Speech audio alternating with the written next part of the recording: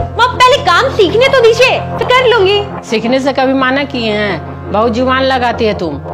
बहुत गलत है। हर बात पर मैके जाना अभी चली जाओ।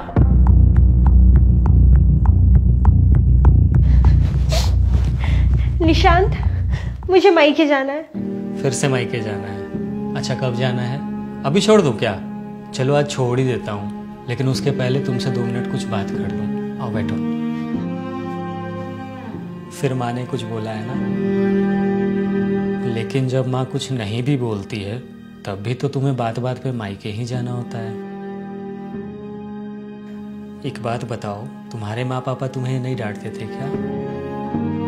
और जब डांटते थे तो तुम क्या घर छोड़कर चली जाती थी? तो तुम जो यहाँ हमेशा मायके जाने की रट लगाए रहती हो मतलब कि साफ़ है, तुम इसे अपना घर समझती ही नहीं। माँ पापा को सास ससुर समझती हो माँ पापा नहीं।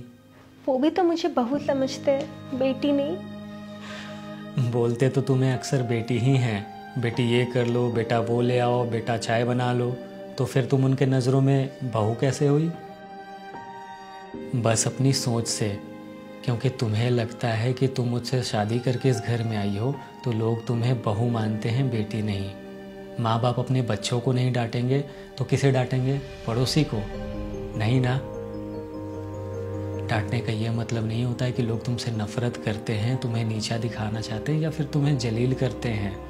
बल्कि ये होता है कि वो लोग कई बार अपने गुस्से को काबू नहीं कर पाते तो कुछ भी बोल जाते हैं। दुनिया का कोई भी माता पिता दिल से बुरा नहीं होता है, बल्कि एक उम्र होती है जिसमें फिर हम लोगों को उनके हिसाब से एडजस्ट करना होता है। अब तुम्हारी और माँ की उम्र सेम तो नहीं है ना? तो अगर इस उम्र में कोई इंसान चिड़चिड़ा होता है, उसे गुस्सा जल्दी आता है, या फिर वो गुस्से में कुछ ज़्यादा बोल जाता है तो हम घर छोड़कर तो नहीं चले जाएँगे ना?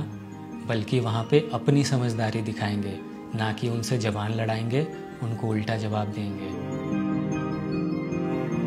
अब बस एक मिनट के लिए तुम खुद को माँ की जगह पे रख करके देखो कि तुम उनकी जगह पे होती तो क्या करती।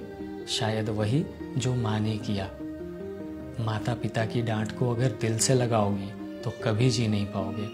और उनकी डांट को अगर सीख की तरह लोगे तो ज़िंदगी में फिर बहुत आगे जाओगे।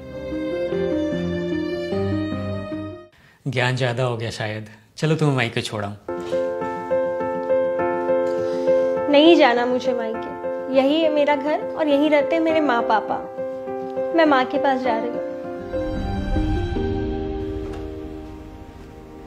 बड़ी जल्दी समझ गई।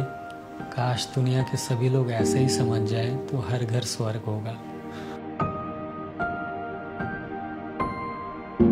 कुछ नहीं रखा है तेरा मेरा में किसी से मन मुटाव में। अगर आपके पास कोई परिवार है ना तो आप बहुत नसीब वाले हैं, खुशकिस्मत है। फैमिली की वैल्यू उनसे पूछिए जिनके पास कोई परिवार ही नहीं है। इसलिए हमेशा घर परिवार के साथ खुश रहिए, उन्हें बिखेरना नहीं, संजोना सीखिए।